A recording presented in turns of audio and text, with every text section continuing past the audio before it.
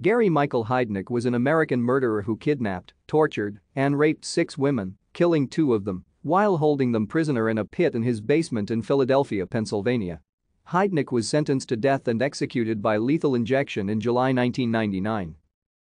Heidnik was born on November 22, 1943, to Michael and Ellen Heidnik and was raised in the Eastlake suburb of Cleveland, Ohio. He had a younger brother, Terry. His parents divorced in 1946. The Heidnik children were then raised by their mother for four years before being placed in the care of their father and his new wife. Heidnik would later claim that he was often emotionally abused by his father. He suffered a lifelong problem of bedwetting and claimed his father would humiliate his son by forcing him to hang his stained sheets from his bedroom window in full view of their neighbors. After his son's arrest, Michael Heidnik denied that he abused his son at school, Heidnik did not interact with his fellow students and refused to make eye contact. Thank you for watching. Like and subscribe if you would like to view more of our videos. Have a nice day.